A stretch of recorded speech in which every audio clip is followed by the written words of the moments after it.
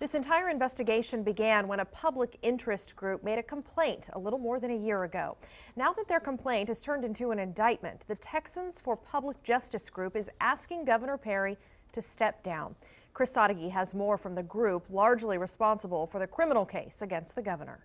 I, I, I think we're happy that our work pays off. A small public interest group like us can hold top politicians accountable. And that accountability started last June when Craig McDonald and Texans for Public Justice heard Rick Perry's vow to veto funding to the Travis County DA office if Rosemary Lehmberg didn't resign. Our ears picked up. It said, This is against the law. This can't be.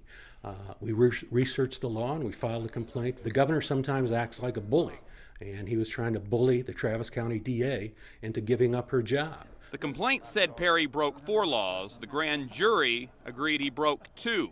And even though he is not guilty until proven so in court, McDonald says a two felony indictment itself is a big enough blow to the governor's leadership.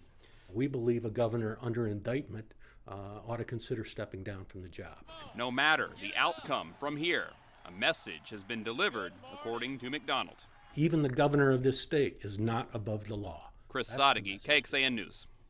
Texans for Public Justice is the same group that brought complaints against former House Majority Leader Tom DeLay and a current candidate for Attorney General, Ken Paxton.